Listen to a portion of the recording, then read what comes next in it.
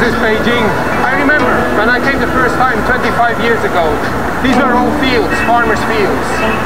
And between and on those fields were tombs. The farmers just plowed around them. Most were simple farmers' tombs, but there were also rich tombs with stone sculptures of the type of which we have an example in the Royal Ontario Museum, Zu Dashou's tomb.